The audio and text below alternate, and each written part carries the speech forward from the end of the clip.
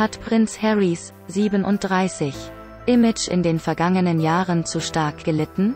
Der Sohn von Prinz Charles, 72, und Prinzessin Diana, römisches Kreuz 36, sorgt schon seit Jahren für Schlagzeilen, doch mit seiner Beziehung zu Herzogin Meghan, 40, wurde die mediale Aufmerksamkeit schließlich gewaltig.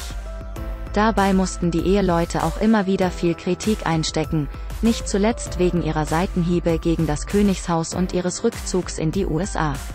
Wenden sich deswegen immer mehr Fans von Harry ab, in den Augen von Royal-Experte Phil Dampier hat der Rotschopf vor fünf Jahren noch zu den beliebtesten Blaublütern gehört, doch das sei mittlerweile komplett gekippt. Jetzt wo Harry 37 Jahre alt geworden ist und man zurückblickt, ist es unglaublich, wie sehr er sich verändert hat, erklärt er gegenüber Fabulous. Der Buchautor sei sich sicher, dass Meghan einen Großteil dazu beigetragen hat, dass der Brite sein Heimatland und seine Pflichten hinter sich gelassen hat, aber Harry trifft auch seine eigenen Entscheidungen, vermutet er.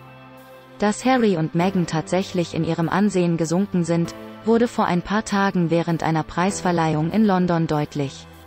Bei einem Einspieler wurden Aufnahmen der zweifachen Eltern gezeigt, und die Reaktion des Publikums war eher unschön. Einige Gästen haben Daily Mail nach laut geboot.